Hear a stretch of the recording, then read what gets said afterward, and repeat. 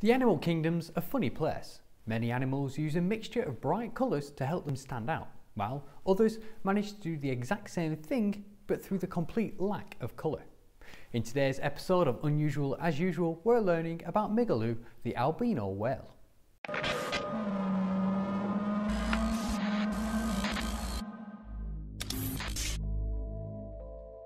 Migaloo is a humpback whale that was first spotted in 1991 off Byron Bay, Queensland, by a group of volunteers conducting a whale count. He was born with albinism, the absence of any pigmentation or coloration. His white exterior shows signs of sun damage, a common problem with albino animals, as they are susceptible to sunburns. Researchers estimated based on his size in 1991 that he was born around 1986, making him five years old.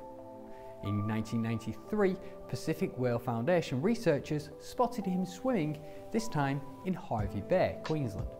It was decided that naming him should be done by the elders of the local Aboriginal collective in Hervey Bay, and they settled on the name Migaloo, which means white fella. The elders explain their connection to all albino animals and that they believe they appear on Earth to be respected and revered. That their unique colour demonstrates the need to respect all forms of life, even if they appear different than what is classed as normal. In 1998, once again, the Pacific Whale Foundation researchers spotted him. This time, they managed to record him singing a trait distinctive to male humpback whales. It's thought that humpback whales may sing to help map out the seas surrounding them. There are a number of ways in which scientists identify Migaloo. Obviously, he's easy to pick out of a lineup because he's the only all-white whale. But there are other physical traits used to identify him too. His dorsal fin is slightly hooked and his tail flukes have a distinctive shape, with spiked edges along the lower trailing side. Migaloo is part of a population of humpback whales that feed in the Antarctica from November to May. These whales then migrate along the east coast of Australia to breed in the warmer tropical waters near the Great Barrier Reef during June to October. With vast amounts of misinformation readily available on the internet, it's easy to assume that Migaloo could have been the inspiration for Herman Melville's book Moby Dick. However, it was written 136 years before Migaloo was born, which makes it impossible. Moby Dick is actually based on an entirely fictional whale. In 2003, Migaloo was struck by a boat full of people eager to get close for photographs, an encounter that left him with scars across his back. All humpback whales are protected under Australian law, but since this incident, there has been additional laws passed, so Migaloo and other humpback whales that are more than 90% white are classed as special management marine mammals and have an additional exclusion zone around them. Boats and vessels cannot approach within 500 metres and aircrafts cannot approach within 610 metres. Migaloo is the only known occurrence of an all-white humpback whale in the 20th century.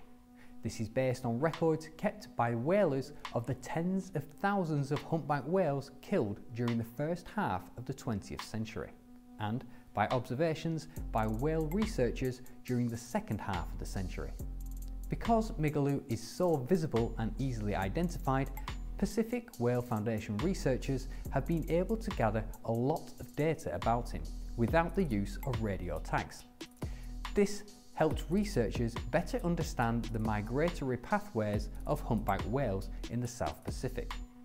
A 2007 to 2008 Antarctic campaign called Operation Migaloo borrowed his name for the first season of Animal Planet's reality TV show Whale Wars, which followed Paul Watson, founder of the Sea Shepherd Conservation Society, as he and the crew attempted to stop the killing of whales by Japanese whaling vessels off the coast of Antarctica. Whale hunting was banned in 1986 to allow for the dwindling numbers to recover. However, in 2019, Japan announced that they were to resume commercial whale hunting and issued a permit to five ships allowing them to catch 227 whales in Japanese waters. Now, at around 34 years old, Migaloo is semi-regularly spotted in New Zealand waters, but he primarily spends his time off East Australia, migrating as far north as Cooktown and south past Sydney. More recently, in 2011, a nearly all-white humpback whale calf was spotted in the Whitsunday Islands. The whale became known as Migaloo Jr. However, it's not known for sure if he's actually the offspring of Migaloo. They may not be related, only genetic tests can confirm it. Migaloo Jr. does have one small black dot on the dorsal surface of his left fluke, meaning this whale likely has a condition called leucism rather than albinism. Leucism refers to a partial loss of pigmentation. Although their colour may seem really cool, it actually makes it harder for them to blend into their environment, making them more visible to predators. You can actually symbolically adopt Migaloo from the Pacific Whale Foundation website. Money raised goes towards supporting the ongoing research to better understand humpback whales' behaviours, migratory patterns and lifespans. I'll pop the link in the description. And there we have it. Migaloo the albino whale, the only true albino humpback whale in the world. Hopefully, his fame will continue to help promote awareness of his species. But how about you? Do you think that after a 30 year hiatus, Japan was right to bring back commercial whaling? Let me know in the comment section below and as always don't forget to like and subscribe. That's all we've got time for today but I'll see you all next week and remember stay unusual as usual. If you've enjoyed this video you might like this one too. If you want to see more abnormal animals you can check out the full playlist by clicking here. Don't forget to ring that bell to make sure you don't miss out on next week's video and if you have any ideas on what the next episode should be about make sure you add it to the comment section below.